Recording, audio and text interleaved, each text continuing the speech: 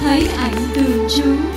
Hay đức mẹ, là cậu đòi hôn kính cho bằng được.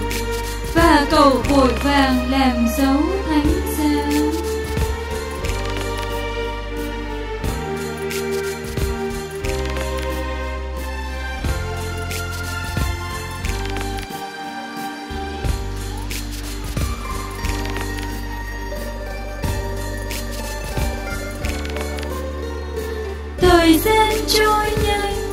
chẳng mấy chốc, cầu đa minh đã đến tuổi được nhận vào tiểu chủng vì bắt đầu sống đời sống của một chủng sinh đạo hạnh ra sức trao dồi trí tuệ và nhất là đời sống thiêng liêng.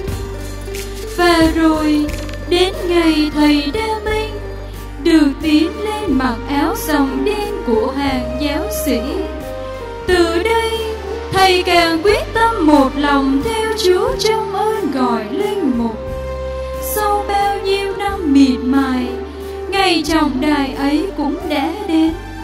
Thầy được lãnh chức linh mục ngày 29 tháng 4 năm 1967 ngàn đời xa ấy, chúa ơi, tên con chúa viết giữa trời tình yêu. Đời con một khúc huyền sinh linh của chúa, một chiều hồng ân. Thời gian vụt trôi qua, thoáng tựa mây bay.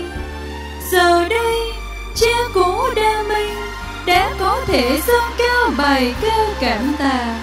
Vì hồng ân năm mươi năm linh mục cao quý. Ôi màu nhiệm đời linh mục huyền nhiệm tình yêu ngài xây ngất cả hồn thơ. Cho đời con đắm đuối trong tin thờ.